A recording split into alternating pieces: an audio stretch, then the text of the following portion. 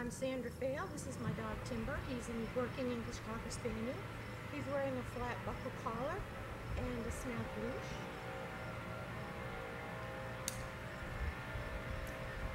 He, uh,